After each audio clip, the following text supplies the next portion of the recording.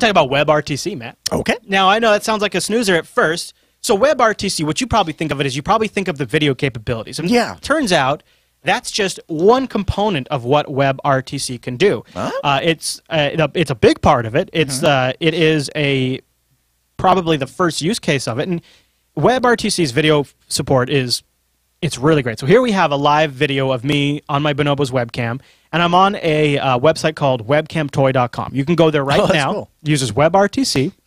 We're not using uh, anything fancier than so there's no flash. That's Right. that's a big thing right Yeah. there. Yes. And uh, one of the things that I don't know if people realize about WebRTC is there's a, there's an API layer to it where you can actually like pull in the video and bring it through a canvas and things like that. So check this out, Matt. If I Okay. click this normal button right here, it'll load up a whole series Oh, my goodness. of like photo booth cheese effects, I like the one on the lower right there. the kaleidoscope. Yeah, that's pretty neat. The uh, yeah, so you can so you can see is you can actually pipe Wow. you can pipe WebRTC's video through. Look at this this one. Wah, wah, wah. Oh, my Wah, wah, goodness. wah, wah, wah. I'm like it's like, uh, it's like South a, Park. You're like a mo- yeah, you're like one of the uh, South Park Canadians. Yeah. So I just the reason why I wanted to show this to you is because there's no practical use for this one. Oh, this is Yeah, they're Extreme Chris. Humans. Let me tell you about WebRTC. Nice. I am here to tell you about WebR. Wait, let me let me find the sweet spot. WebRTC. That is awesome. that's gonna be a meme. Can I we just do the? Can we do the whole show like this? Linux, everybody. now the uh, audio listeners are missing out, Yeah, but they're all like, what the hell? I'm in a god tunnel, audio listeners. So um, there is a lot of fun to be had with some of the video effects, but let's talk about some of the practical things. So while we're on the topic of uh, video, I think this is a good one. Uh, let's talk about multi-party chat room. So I've made a chat room. It's called Last Town, and uh, this is an open. Uh, uh, this is a website called OpenTalkRTC.com, and I just put the link in the chat room. Yep. And it's a multi-party chat program where you can have here we have one we have one person who's joined us, but pretty soon it's sort of like Hangouts. You can have Oh, a whole bunch of people join you, right? That's awesome, and and they just pop right in. Yeah. Yeah, and I we I don't think we've hit a limit yet. Now, a couple of things is Chrome and Firefox will both ask you for permission to use your camera before you do. Oh, and we got bumped. We got okay, bumped. so maybe we hit a limit. well, it, it, I think it's just a little. Uh, I'll go back and what was it called? Last Town. See if I can just re-enter. LAS town. Um, I can re-enter. That's oh cool. wow, that's kind of neat. Okay, so it's still there. And I also have. Uh, they've also had some fun. Like I can do some effects here. Like I've made myself sepia. I can make myself blurry. See, it's non blurry. I can in- Censored Chris. yeah, right? I can invert the colors so that way I'm X-ray Chris. Um, and and we we're getting a we're getting a big stack here. That's awesome. I'm just looking to join, join, join, join, join. Yeah, isn't this neat? So That's cool. Oh, yeah. Here's what's here's what's really kind of cool about the way this is working is all of that is going th- through a peer-to-peer connection. Wow, We're not all streaming through a So server. you're not pounding on a server. That it's This uses a technology called Huh. RTC peer connection. It handles the signal processing, the codec handling, the peer-to-peer communication, the security encryption, and the bandwidth management. So it'll automatically scale. Now, you saw me. I just clicked the join party. yeah. Yeah, RTC peer connection handles all of that stuff in the background, completely transparent to the user. So you don't even have to worry about what's how it's working or or what's happening there. I, and so uh, there's there's a lot of features that are going to be rolling out. It uses VP8 on the back end for the video codec. You know, I just had a thought. You know how in Chrome you can actually like uh, basically turn any web page into a quote unquote a web app, essentially. Yeah. Why Oh, not yeah, create totally. a room? Yeah. Bam, boom, damn, you're done. You know, but maybe you don't want uh, maybe you don't want video. Well, the Mozilla Sure. project is full in on WebRTC as well. In fact, the industry is in on WebRTC. The the telco industry is in on Oh. WebRTC. There has been WebRTC conferences. Well, this is a project called WeConspire.com from the Mozilla. I think it's from the Mozilla folks. At least Mm-hmm. it now supports Firefox. This is for like gaming. You give a link out to your friends you're playing with, Mm-hmm. and I and then it is it's like it's like a really watered down version of TeamSpeak or Mumble. Oh, So okay. it's not using it's not using the um, video capabilities of WebRTC. Sure. It's using just the audio capabilities of WebRTC. But when you're gaming, that's really all you're wanting is the audio. You just want to have a headset on and be like, okay, you know, we're taking the tower, whatnot. so I'm gonna Yeah. I'll put this link in the chat room. So I t- I, I top I, if I toss that in the chat room, so you can start to see people join. So there's one of my oh. allies. Oh, and you can mute or t- adjust the volume of Yep. individual people. Yep. So you can have individual control there. Oh, and you, can- you can hear us playing back through his mic right, Right. now. Yeah. that's cool. so this is also really good just for voice chats. You're, with WebRTC, you're not stuck to video chat. You're like, okay, Chris, okay, Yeah. that's kind of neat. Oh, here's another person just joining. So each person and this is the HTML5 audio control. And so Again, the, not and the Flash. audio's all together. It's like in one big bucket. It's- Yep. Oh, okay. But I can turn down individual folks. Oh, that's cool. Right. So there's another person that's, That's just joined. neat. Somebody say hi in here. Anybody in here listening? Hello. Hello. Hello. Hi. So okay. So that Okay. look at how many people were. How cool oh is Oh my this, right? Gosh, that's awesome.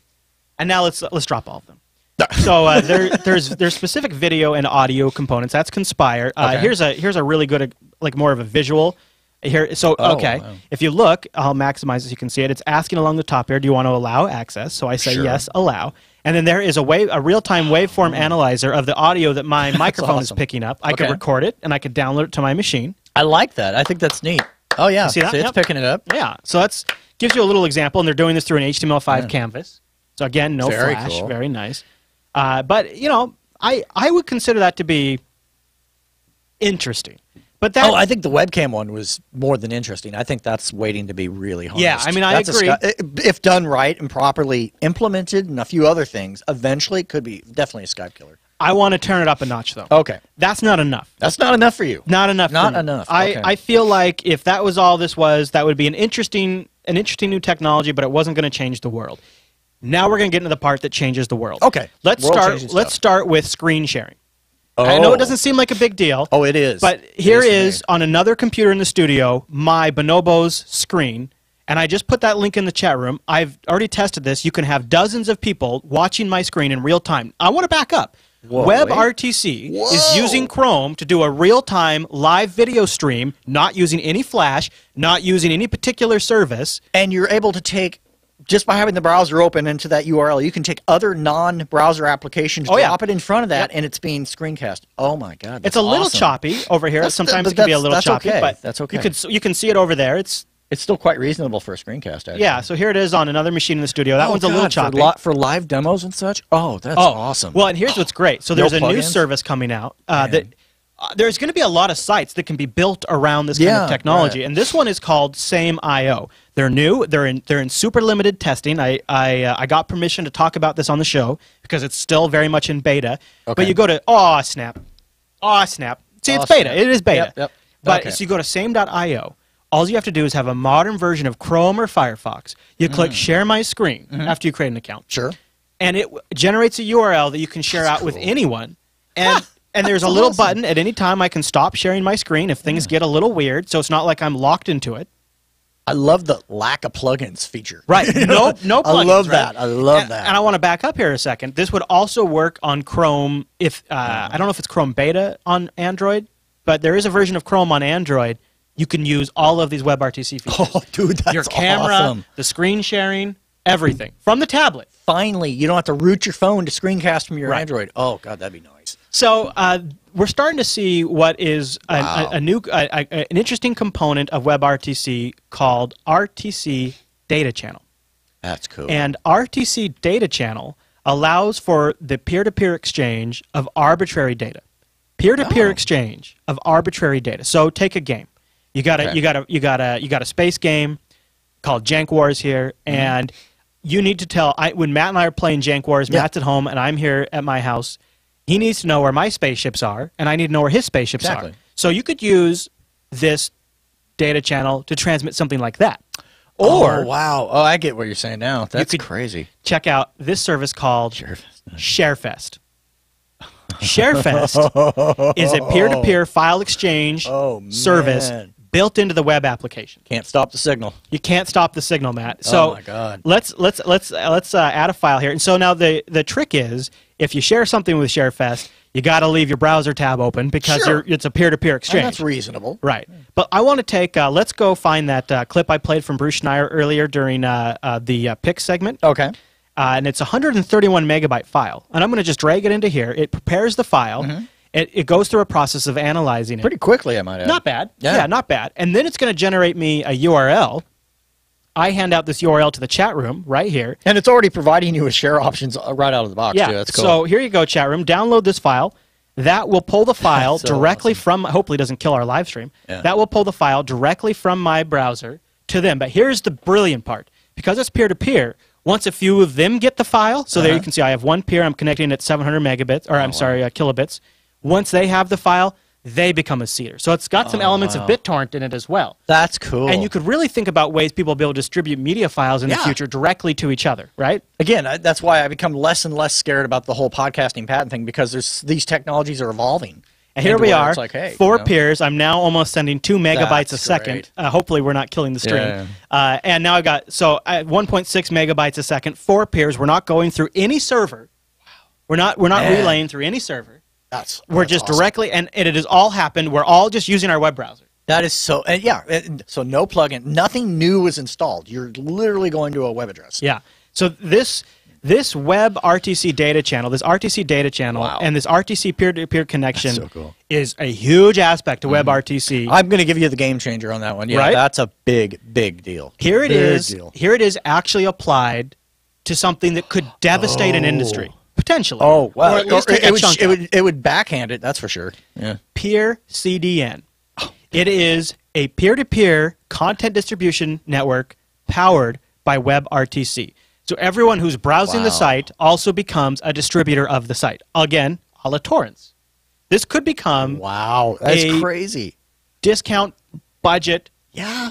Now maybe it won't be as supercharged as Akamai or Scale Engine, But or it something becomes like that. very practical. It becomes essentially what Linux was in a Windows world. You It can beco- flip it on if they support it. They become part of the CDN. Uh, it right. uses that. It uses that web RTC data channel. I- and even for businesses. I mean, honestly, it makes sense I financially. mean, why not? If you could just turn it on, right. I mean, why So, would you pay for this? Peer CDN utilizes Web RTC data channel to establish a peer-to-peer connection between the site's visitors. Chrome and Firefox already support WebRTC, which together account for about 58% of global browser usage. However, if a visitor running IE or Safari lands on the page, then they have the ability to gracefully fall back to un- for unsupported browsers. You can also integrate to traditional CDNs for those browsers if you want, or just have them There's your there's your sign right there. That's what you would do if you're a business, right there. yeah.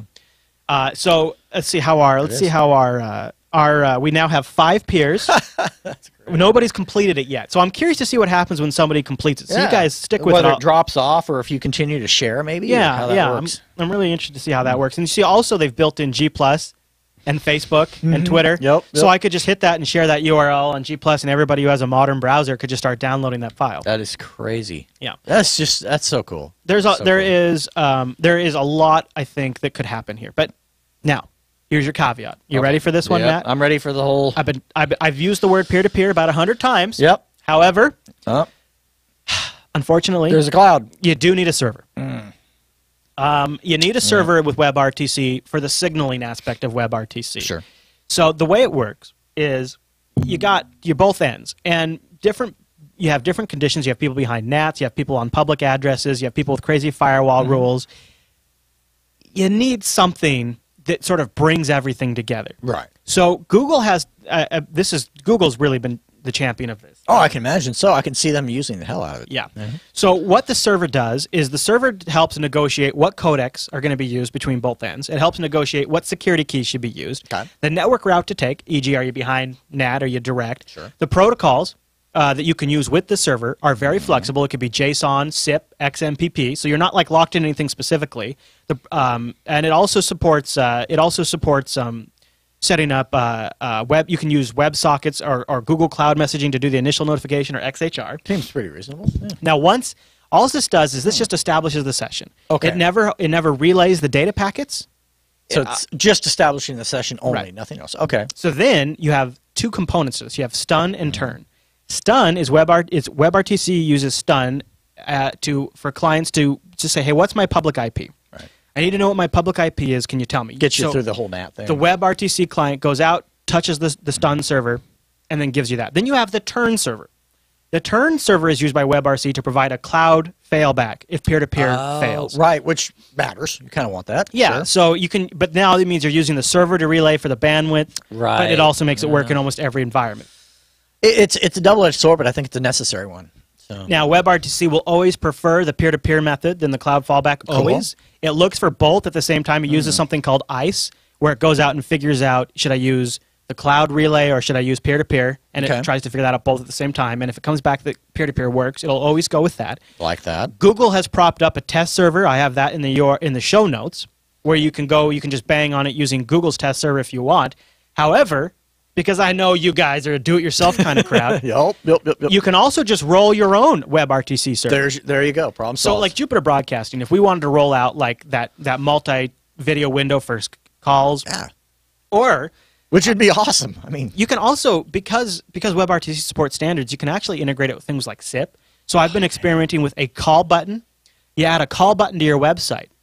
It uses WebRTC to, Right. to, to do the to handle the voice and the connection for the user. Sure. Connects to SIP on the back end, Uh-huh. which then you know your SIP service could go out to a POTS line. You could actually so oh man, you can actually make a one button phone call. You push that button on your site. It'll actually dial a phone number in the background and connect. awesome. So like for customer service, Right. It could be huge. for websites and whatnot. That'd be a big deal. Right. But maybe you don't want to use Google servers to do that. So Sure. Mm-hmm. you run your own stun and turn server. And the good news is it's available right now. The, it, it's got a catchy name. The server is called RFC 5766-turn-server. Yeah. Yeah.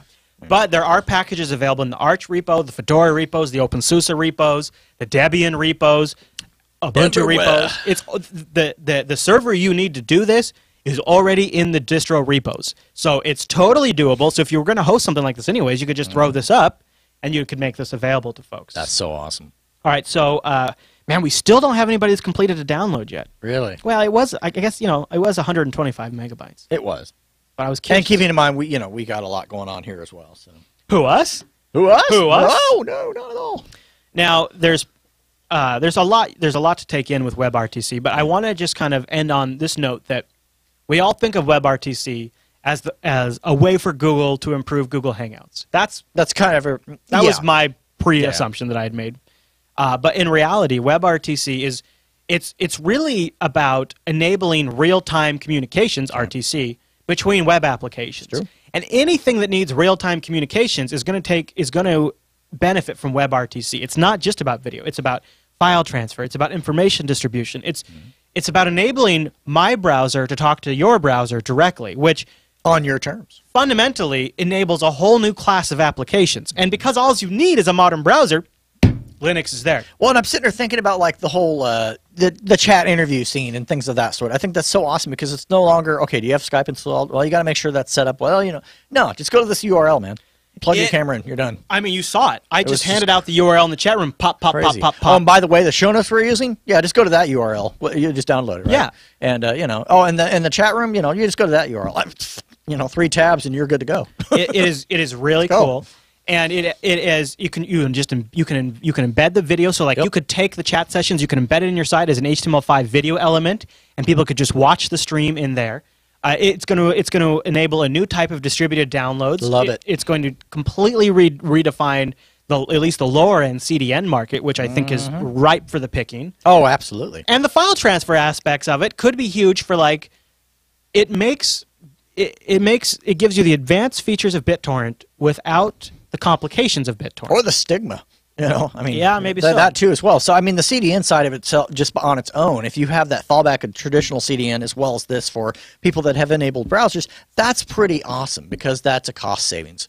I think it shakes up the market. now all of these all of these are in early days right now. Oh yeah, we're very alpha. Yeah. you know. Yes. However, this is going to be huge in 2014. This is one of mm-hmm. this is one of these last episodes where we cover something like Docker or something Yep. like that, and you're like, "Oh, that's interesting technology." And then six, seven months later, you Yeah. start to see it rolled out in everyday applications. I mean, think about the when you have tablets and cell phones, where every single device has a microphone and a camera. The hardest thing now about doing a conference, which is crazy easy, is picking the right app, setting up your your contacts, and you know, and when we do interviews, we run into this all the time. Did you send us your contact info? What's your what's your yeah, nick on it's Skype? like Skype's not showing up, or, or Google Hangouts. That's even better. That's even more of a headache. Um, oh, forget it. And and what I love about the screencasting option that you were showing off earlier is that, at least from my experience and my understanding, in order to do that now, you actually have to root your phone. I don't want to root my phone Mhm. I haven't tried it from the device. I wonder if I can only grab the Chrome screen or if it could grab everything. because if it could grab everything, That'd awesome. man, That'd be really cool. oh, But it's it's nice just from like a you can start it up and you walk away, Yep. and then when you connect to it, you can connect to it at any point. Then it starts the encoding process. So it's not it's not slamming your CPU just to run the application. that's and nice. Yeah, it's That's it's, a feature in itself, right there. it's very impressive. So I think WebRTC will in enable. You know, we talk about on Coder Radio sort of this trend where Google's really pushing people to use web apps, and They it, are. you know there are a lot of adva- advantages. There's a lot of disadvantages some, yeah. this I think eliminates a lot of those disadvantages. I think the disadvantages are covered because of the fact you can, in fact, run your own server Or you know. There you go. kinda cool. We'll see what happens. We'll keep an eye on it. But you know, I think WebRTC deserves another look if you've been kind of shrugging oh, it Oh, off like. I was, and I'm thinking now like, how am I going to integrate this? Right? our And show it's like, how can I get? How, how can I totally do this? And I can see some. How can I integrate into our downloads? How can I take Yes. live calls with this? How can I maybe one day replace Skype with this? Because, you know, the fact that it's once the connection is established, the fact that it's peer to peer is going to a lot of times provide you with better video bandwidth and all of that kind of stuff. That's right. And uh, there's a lot of interesting um, development tools built into Chrome where you can get stats and stuff.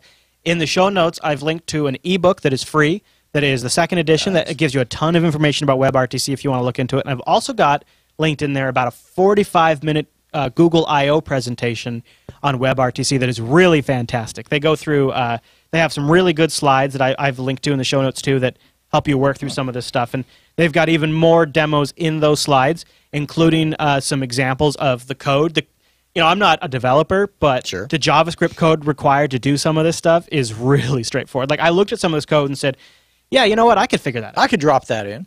Yeah. it's like, oh, Yeah. okay. And you could see it like you could see how easily it's going to be rolled into WordPress plugins, Right. And you know, Or, yeah, that's a big one right there. Mm-hmm. it's just getting started, Matt. So 2014 is going to be the web, the year of WebRTC. I say. It will. All right, Matt. Well, that's the Linux Action Show's look at WebRTC.